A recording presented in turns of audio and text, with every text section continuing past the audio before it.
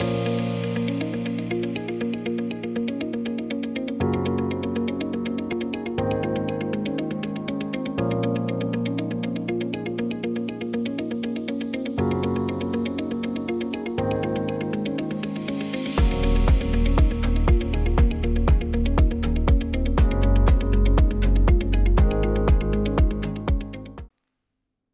to lecture 20 of the course Marine Propulsion. We will continue with engine propeller matching. The key concepts covered here are propeller curves, the power curves for different conditions of propeller operation, engine propeller matching, the matching of the propeller curves with the engine curve for diesel engine and the margins considering the engine propeller matching which are engine and service margins. So, we have discussed different propeller curves for different operation conditions for a ship. We have the ballast condition for which the power demand is lowest, the first curve from the bottom here. Next, we have the fully loaded trial condition, the black line where the powering demand will be higher as compared to the ballast condition. Next we have the fully loaded average service condition, the green line which is basically the power demand for average service condition of that specific ship type and finally the highest demand case where we have fully loaded fouled hull and bad weather condition where the power demand for the propeller will be highest. And for propellers we have seen that the power demand can be expressed as k multiplied by n cube that means the power demand or the delivered power to the propeller is proportional to the cube of the propeller speed. And for diesel engines we have seen that it is typically constant torque type. So, the power for diesel engine is directly proportional to the RPM. So, now we will look into the engine operational diagram and we have to fit the propeller curves on this diagram to perform engine propeller matching. So, this is basically the operational characteristics of a typical diesel engine where again on the y axis the power is shown as a fraction of the maximum power. So, 0 to 100 PB by PBO which is the rated power. And in the x axis we have the RPM and because this is a constant torque engine the black dotted line here represents the relation between the PB and the N for constant torque. Now, this red envelope shows the operational limits of the engine with respect to certain performance characteristics. We will look into these one by one. So, we have the lines 1 and 2 which represent the upper limit of engine power for a given speed. Beyond this the combustion of fuel will be incomplete or excessive cylinder pressures may also occur. So, these lines 1 and 2 provide the upper limit of engine power for a specific engine speed. Line 3 is the maximum power for continuous operation. line 4 towards the right is the upper speed limit of the engine. If we go beyond that there will be dynamic effects which will not be acceptable. So, the upper speed limit is the limit below which the dynamic effects of the engine parts will be within the acceptable limit. And if you notice this line 4 is corresponding to a higher value of RPM as compared to the rated RPM.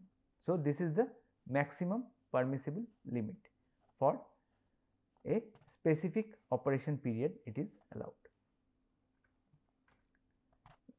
Line 5 is the lower limit of power at varying engine speeds. So, this line gives the lower limit below which the fuel supply cannot be properly regulated which will lead to incomplete combustion of the fuel and the performance of the engine will not be proper. And finally, line 6 is the limit of low engine speed below which the temperature attained will not be sufficient for ignition. So, these lines form a closed envelope in which the engine operation is within the acceptable range and we have to match the propeller performance curve the power versus RPM for the propeller on the engine performance diagram that we have just seen. And in this particular diagram the SFC value for different locations on the engine envelope is shown. SFC is the specific fuel consumption of the engine. So, the specific fuel consumption of the engine will depend on the location on the engine envelope operation where we are computing the power characteristics. So, for the propeller power curve the condition of fully loaded average service is taken and that propeller curve is juxtaposed on the engine performance curve. The reason for choosing this will be discussed later when we talk about the margins and in this way we have to understand the relation between the propeller power demand and the power generated by the engine when we do the engine propeller matching. Now, let us assume that compared to this condition we have two different conditions which are shown an overpitched and an underpitched condition. So, let us say that if the propeller is not designed properly that means the pitch choice which is very essential we have seen that the pitch of the propeller blade governs the power that is being absorbed by the propeller because change of pitch changes the inflow velocities and the angle of attack and hence the thrust and torque for the propeller blade and which finally will change the power absorption characteristics of the propeller. So, if the pitch is not properly chosen for example, if it is under pitched or over pitched we have taken two scenario. So, if it is under pitched the pink line here. So, it will absorb less power as compared to the optimal design which is the green line. This one is for the fully loaded average service condition the green line. So, if it is under pitched it will absorb less power. So, the pink line is below the green line. On the other hand if the pitch selection is on the higher side compared to the optimal value then the power demand will be higher which is the blue line the case for overpitched. Now, what will happen? In both these cases the maximum engine power will not be utilized. Why? Because if we look into the overpitch condition here the maximum possible power is attained below the maximum possible RPM. So, at a reduced RPM value here we are getting the maximum power which is lower than the maximum power that we could have achieved if the propeller was designed at the proper pitch with the fully loaded condition the green line. Okay. On the other hand if it is under pitched the pink line then what happens? The maximum power is only achievable at higher RPM. In both these cases this is lower than the maximum power that is obtained from the green line. Okay. So, we see that if the propeller pitch choice is not optimal compared to the requirement for a specific operation condition, the maximum power of the engine will not be utilized. On the other hand, the sea condition, fouling, wind strength etc. they play a very strong role in the power demand for a ship. So, basically what they do is the power demand for a ship increases because of these conditions which are applicable for different operation scenarios of the ship. Because of this increase what happens that the propeller power curve is basically shifted. The optimal curve that would have been if we do not consider rough sea condition fouling will be low compared to if we consider these conditions. So, these will result in the propeller curve to be shifted slightly to the over pitch side that means the power demand will be slightly higher. So, these needs to be taken care of in the engine propeller matching and that is why we see that the service conditions are very important in engine propeller matching for a specific ship type. Now, for most cases it is permissible to overload the diesel engine for very short period. That means the diesel engine can be operated beyond the maximum rated values. So, overloading is applied, but for only very short periods that means 1 hour in every 12 hours as a standard or 2000 hours in a cumulative way per year. These limits of permitted overloading are shown by dotted lines in this figure. Okay. So, we have the standard envelope which corresponds to the operational conditions and these border lines governing these envelopes are already discussed. Apart from that, we have these dotted lines which are basically showing the permitted overloading conditions for a particular engine type. Okay. But these are only for short duration. Now, what is the basis of engine propeller matching? How do we place the propeller curve in perspective to the engine curve? This is the question which I had asked in the last class and the basis for that will be the continuous service rating. What is typically done here is the average service condition of the propeller curve is taken. So, we have the fully loaded average service condition the green line from the propeller curves and this is made to pass through a point which is called the continuous service rating CSR mentioned here for the engine such that it is slightly lower than the maximum rated engine power value shown here. Okay. So, in general this is around 80 to 90 percent of the maximum rated power and slightly less than the maximum rated RPM of the engine. Okay. So, this is the basis of matching the propeller curve in the average service condition with respect to the maximum rated engine power. Okay. By doing this we maintain a margin here which is the difference between the maximum rated engine power and the continuous service rating. This margin is called the engine margin. So, the maximum rated condition is the MCR of the engine and the continuous service rating CSR is the point where this fully loaded average service condition intersects with the engine curve which is slightly lower than the maximum continuous rating. So, the difference between them is called the engine margin. Okay. Now, there is one more margin which is required basically it is the difference between the power demand in the average service condition and the fully loaded trial condition. So, in these set of curves we add the next condition for the propeller which is the fully loaded trial condition in addition to the average service condition which is already shown. So, the difference between the intersections of these two curves the green line and the black line on this vertical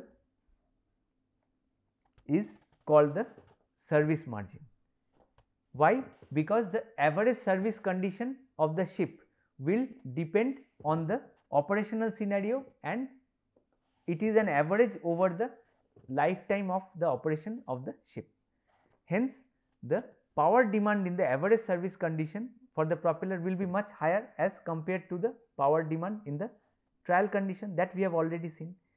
And a service margin needs to be provided because with time the ship hull will become fouled and the service condition will basically require more power because of the wind and wave scenario and the operational demand depending on the ship operational criteria will be different from the powering in the trial condition because it is a very much idealistic condition controlled environment and the ship is newly built for the trial condition.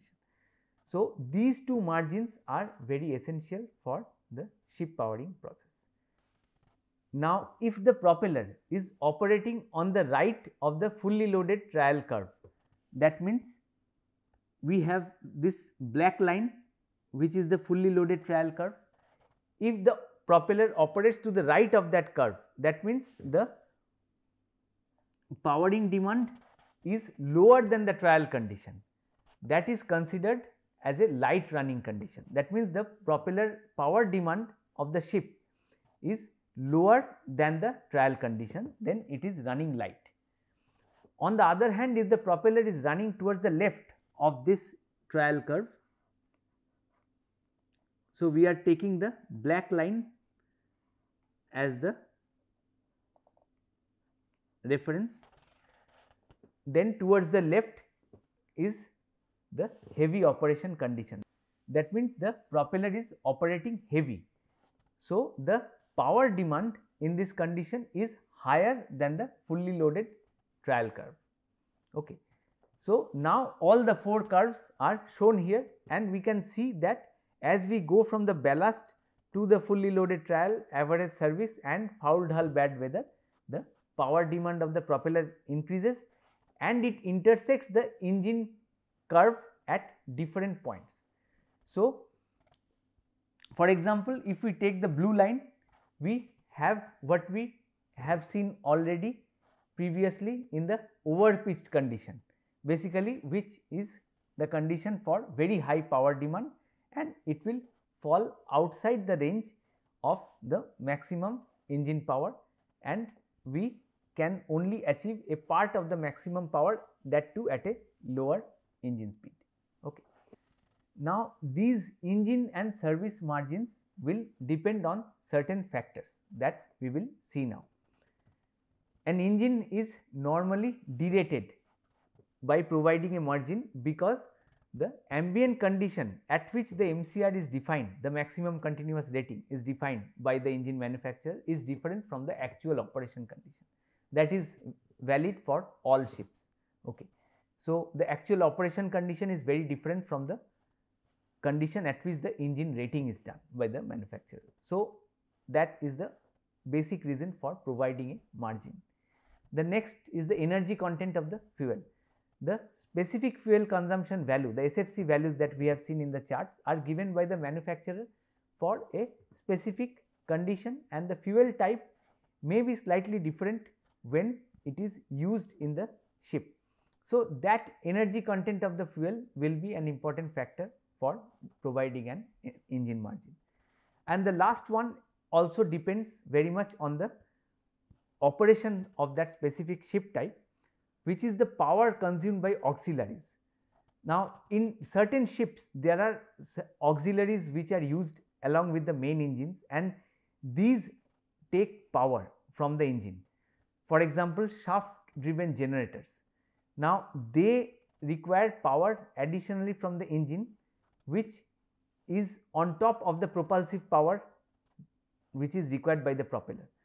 Because of that engine margin has to be provided and accordingly the total engine margin has to be decided depending on all these conditions.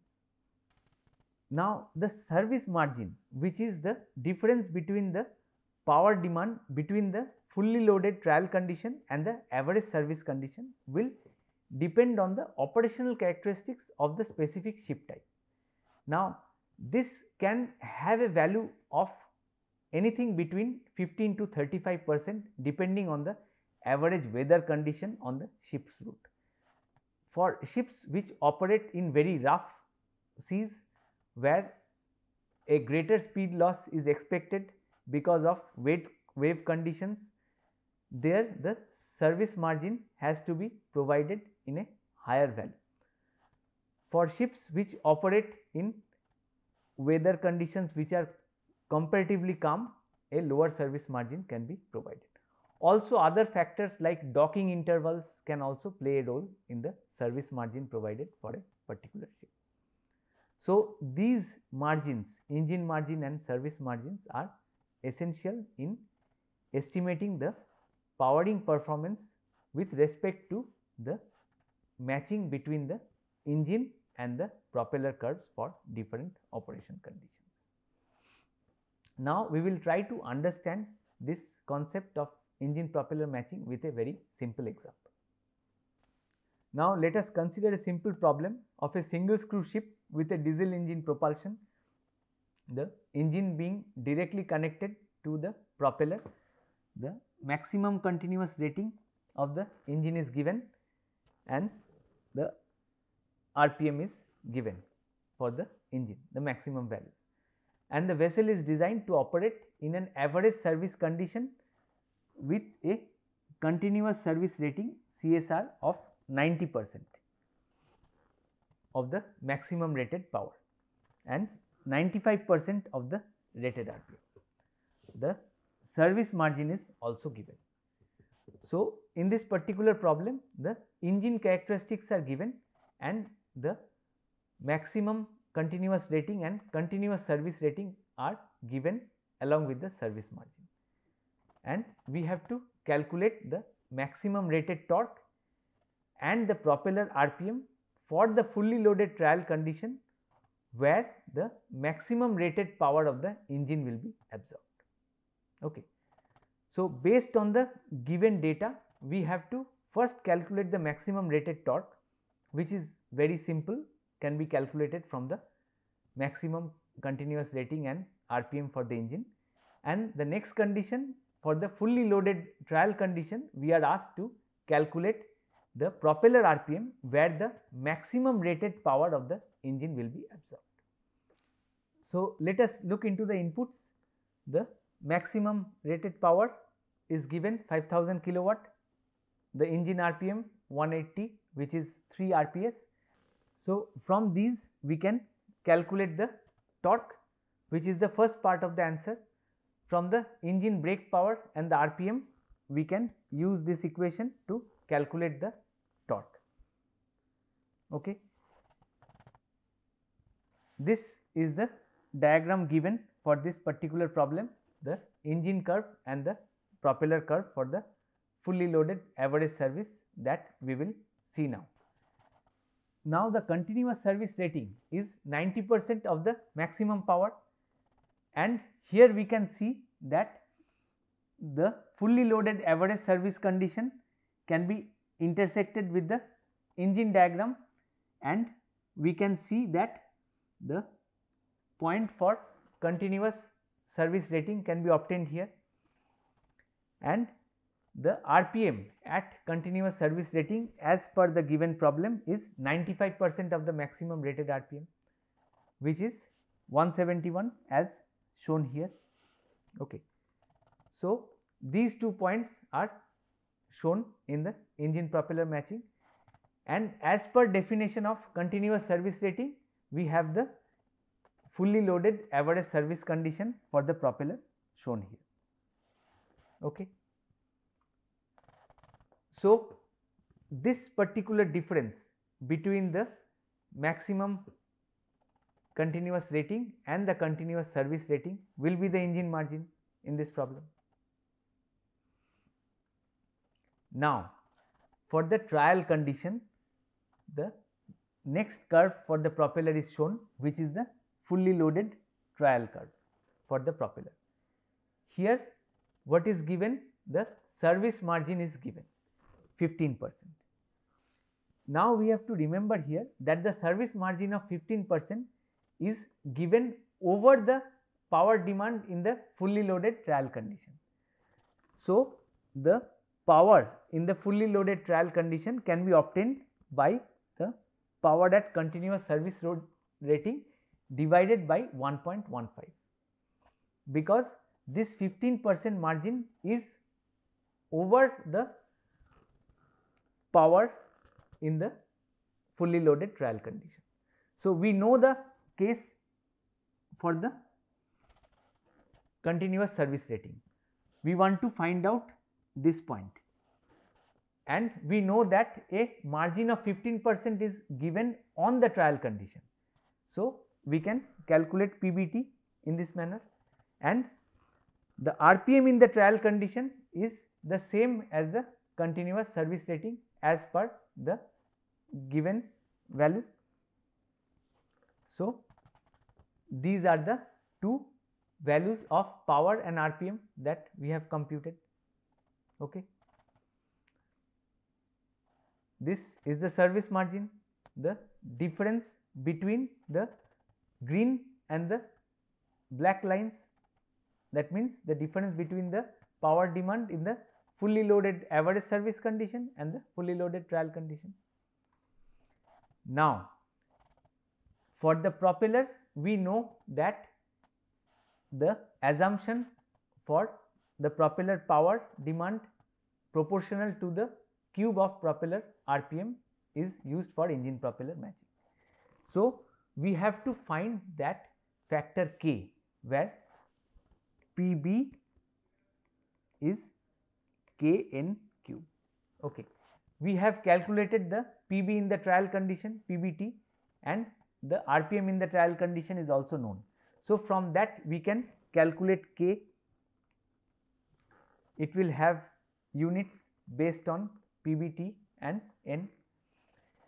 This K now can be used to compute the second part of the question where we need to calculate the RPM at which the maximum rated power of the engine will be absorbed. So, first we are calculating the proportionality constant K and then based on the given requirement we are required to calculate the RPM at which the maximum rated power of the engine will be absorbed. So, if n is that RPM the maximum rated power given is 5000 kilowatt and we know the value of k. So, we can use this equation get the value of n which is 185.5 RPM. So, we can calculate the value of the propeller RPM at which the maximum rated power of the engine is absorbed as per the details given in this. So, this is how we can use the concepts of engine margin and service margin in engine propeller matching to solve for the RPM and power for different operation conditions of the ship. So, in general engine margins and service margins are used to relate the propeller performance curves to the engine performance curve for specific operation conditions. This problem will give a brief idea of how these can be used for ship powering. In combination with propeller design that we will study later, this will give a broad overview of the powering calculations and engine propeller matching involved for marine propulsion.